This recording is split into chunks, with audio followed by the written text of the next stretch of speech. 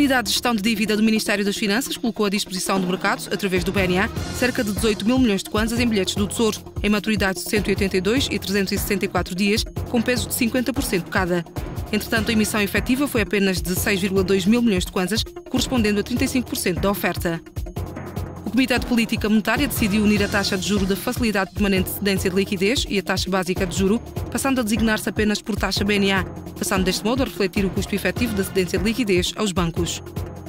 O agregado monetário M2, que congrega a totalidade dos depósitos bancários em moeda nacional e as notas e moedas em poder do público, variou negativamente durante o mês de abril, em 66,96 mil milhões de kwanzas. O efeito passou de 4,470,52 mil milhões de kwanzas em março para 4,403,56 mil milhões de kwanzas em abril, o que corresponde a uma diminuição de 1,50%. A taxa de câmbio média de Kwanza registrou uma variação, situando-se nos 234,53 para o dólar e nos 274,993 para o euro.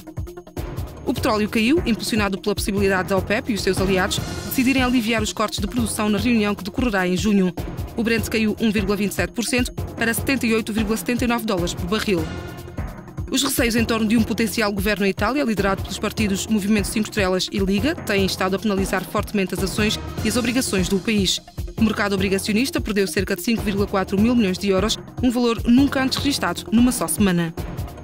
As bolsas norte-americanas terminaram em queda, penalizadas pela decisão do presidente norte-americano de cancelar a cimeira com a Coreia do Norte, juntamente com a ameaça de impor tarifas sobre os carros importados. Estaremos de volta amanhã com mais notícias dos mercados financeiros.